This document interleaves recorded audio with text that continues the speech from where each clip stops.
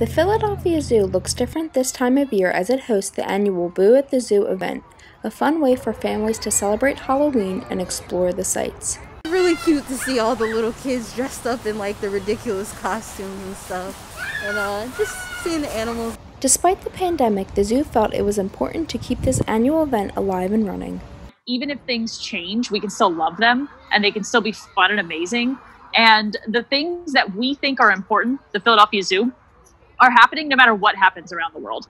Those attending the event said that they felt safe while enjoying the festivities. I think everybody's wearing their masks and you know staying safe, so try to keep the six feet if we can. From what I've seen, everybody's pretty much spread out, and I guess because of the cold weather, there's not nearly as much people as it would be if we were like in the summer and stuff like that. So I feel pretty safe.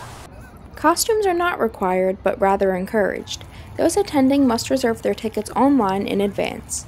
Boo at the Zoo will remain open from Friday until Sunday. Reporting for Temple Update from the Philadelphia Zoo, I'm Jade Rainis.